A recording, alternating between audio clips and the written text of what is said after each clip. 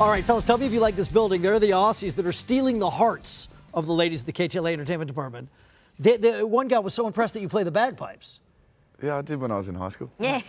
That's uh, uh, Emma, who of course is our Scottish dancer. Oh, well, yeah. So she was the, like, she's like arrange. Anyway, uh, new movie is called Danger Close. It's uh, Travis Fimmel and Luke Bracey. Gentlemen, nice to see you both. Good to see you. This is a real story about Australian soldiers. I don't think necessarily a lot of Americans know that uh, the Australian military participated in the Vietnam conflict. Yeah, we were one of the only other countries. It was, I think, New Zealand and South Korea and uh, uh, and maybe one or two other countries that participated in Vietnam with the Americans. And this is kind of the most infamous battle that the Australians were involved in. It was a, a company of men, about 100 blokes, and they took on a force of an estimated force of about 2,000 North Vietnamese uh, army. So it was a tremendous story of you know ordinary blokes doing extraordinary things. When you are immersed i- in a world like this, I guess on one level, you, you do or don't forget the cameras are there. You know you're play acting, or do you feel you're really part of it? Um, I'm not one of those actors, mate. I'll, as soon as the camera's finished, I'll be. Where's my coffee? Yeah. Back to No, not that, yeah, yeah, Right, yeah. right, right. Yeah, I'll be talking to everybody. But, uh, it was a great experience, mate, and obviously it's absolutely nothing compared to what the real boys went through.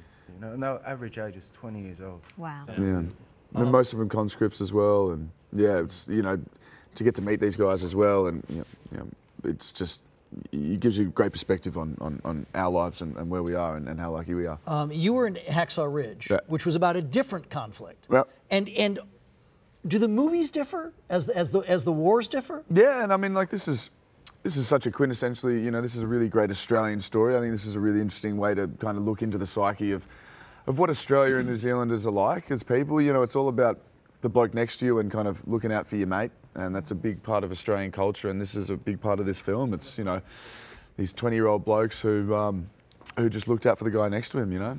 Well, we're going to take a, a look at the movie. Uh, here's a clip. Watch. I need Sheldrake to drop on my position. He wants me to target his position.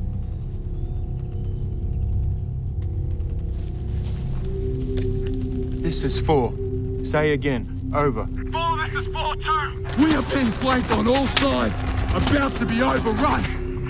Target my location. Over. This is 3 4. Negative. I can't do it. Over. If you don't drop in the next 30 seconds, we'll all be dead. You understand me?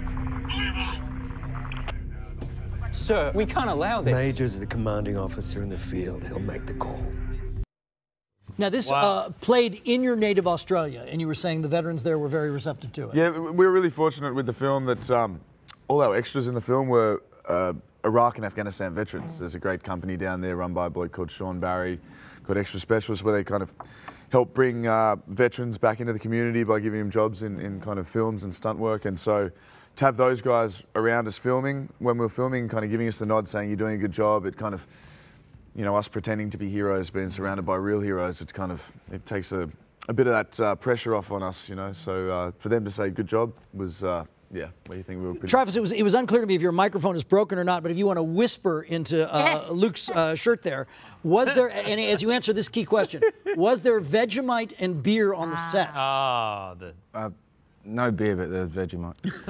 and is, is Vegemite good or is it awful? it's brilliant, man. I love You, it. you guys Yeah. really like it? yeah, Yeah. love it. Yeah. Yeah. I know you just grew up. Yeah. Most people, and then there's a Marmite competition. Yeah, I don't like them. Which is not good. No, like the Vegemite. Uh, Any other Australia stuff that we need to know about to further immerse ourselves in the culture?